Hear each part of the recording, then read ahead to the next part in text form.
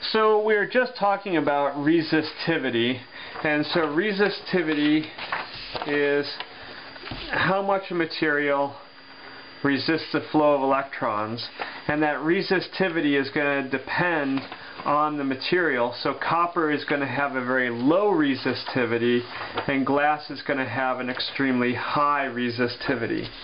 And so the resistance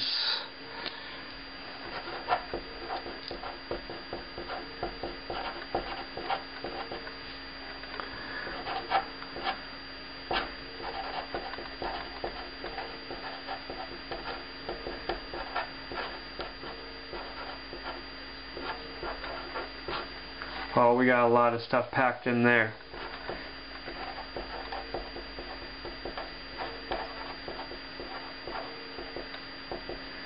The resistance measured in ohms is going to be R, is going to be the resistivity times the length divided by the cross-sectional area.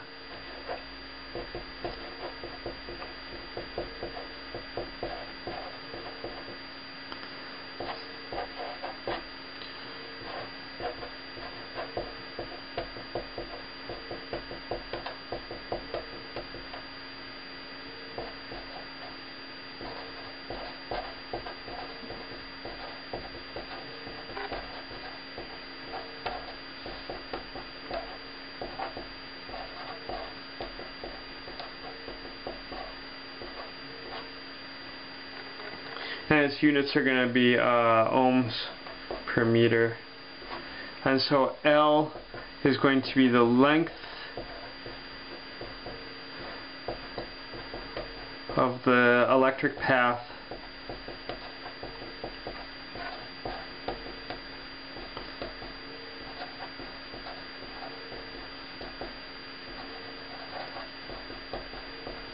We'll just call it a wire and A is the cross-sectional area.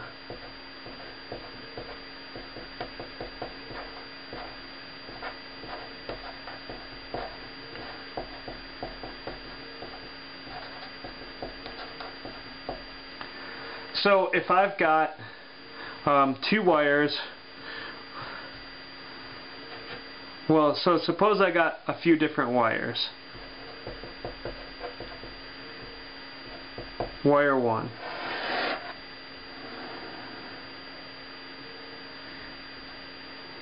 So its length is uh,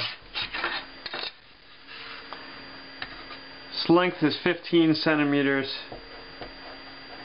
and its diameter is uh, diameter is 4 millimeters.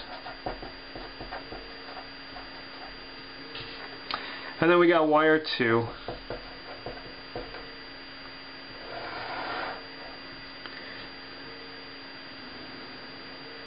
And it's got a length of 9 centimeters and a diameter of 4 millimeters. Well, this one is going to have less resistance because the electricity has less material that the electrons have less material that it has to travel through so less bumping into atoms. Here there's more bumping into atoms so there's more resistance. And they're the same diameter so that's okay. Now we've got uh,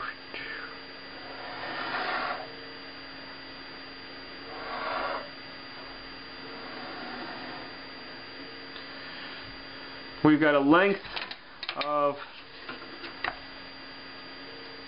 length of 22 meters, length of 22 centimeters, and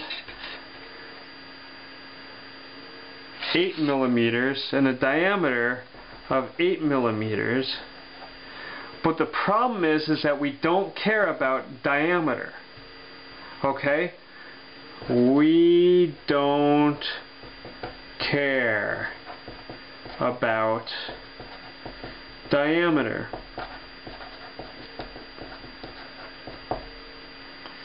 So if I looked at this end on, it's like that. If I looked at this end on, it's like that. If I looked at this end on, it's like that.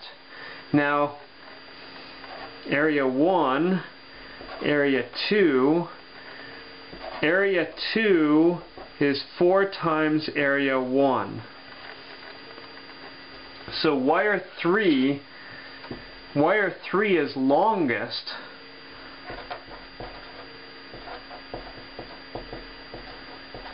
but most area, so least resistance. Even though this wire is longer, it's got four times more area than any of these things. So it's twice as long as this wire. It's more than twice as long as this wire, but it's got four times as much area.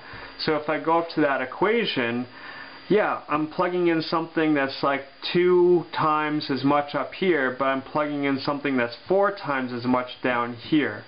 So, fatter wires are going to have lower resistance, thinner wires are going to have more resistance, so light bulbs have really, really, really thin wires if you're still using incandescent light bulbs.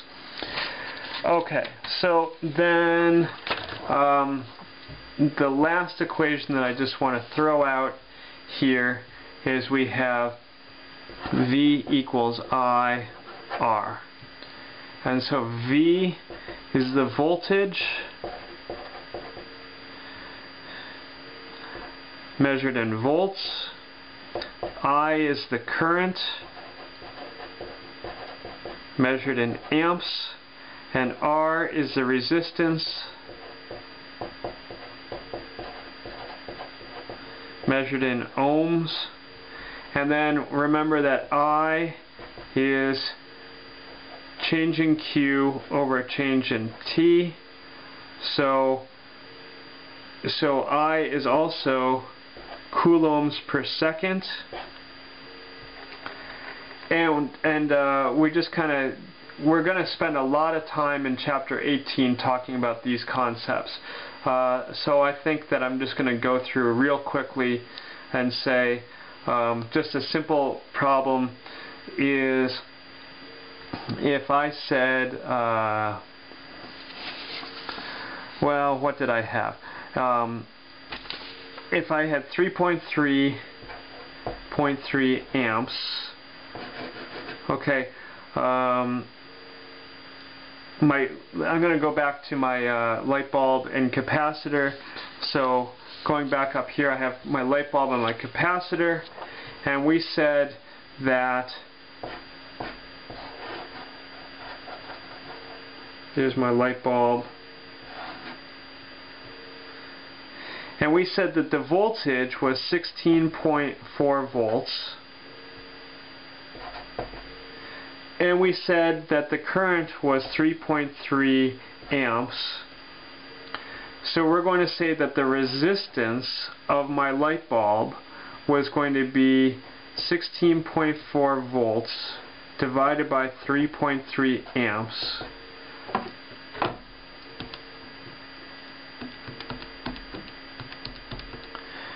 Five ohms. So now we've sort of just sort of completed this idea where I've got a capacitor that has a capacitance that I found and it has a certain voltage on it. I hook it up to a light bulb. It discharges in a certain amount of time that lights the light bulb and we had some wattage with the light bulb as well. Um, I'm going to talk about that in the next video and I think I'm just going to put this whole thing together in the next video.